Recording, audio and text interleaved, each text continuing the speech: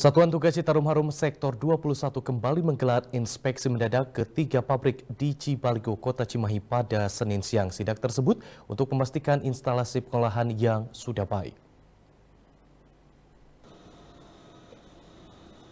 Komandan Sektor 21 Satuan Tugas Citarum Harum Kolonel Infanteri Yusef Sudrajat memimpin sidak ketiga pabrik di kawasan Cibaligo, Kota Cimahi yang kerap mengeluarkan limbah.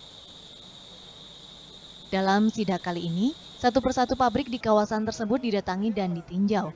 Pengolahan air limbah di dua pabrik sudah baik, bahkan air limbah yang kerap mencemari sungai Citarum sudah berangsur pulih. Kini ikan pun bisa hidup di dalam kolam penampungan limbah tersebut.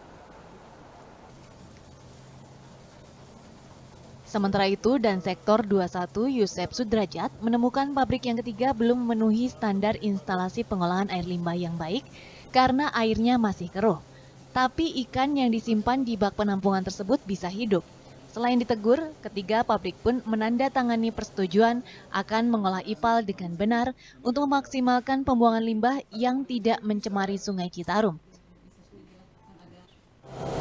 Ini harus segera diperbaiki. Kita kasih waktu biar nanti komitmen yang kita buat, waktunya berapa hari nanti kita sepakatnya. Nah setelah itu dalam waktu yang disepakati itu kita datang lagi sehingga limbah yang keluar dari PT ini benar-benar clear untuk bisa dibuang ke Das Citarum untuk tidak mengotori lagi, tidak membunuh lagi uh, ekosistem yang ada di, di Das Citarum nantinya. Diharapkan inspeksi mendadak yang dilakukan Satgas Citarum Harum dapat mempercepat revitalisasi Sungai Citarum sesuai instruksi Presiden Joko Widodo. Algi Muhammad Gifari, Bandung TV.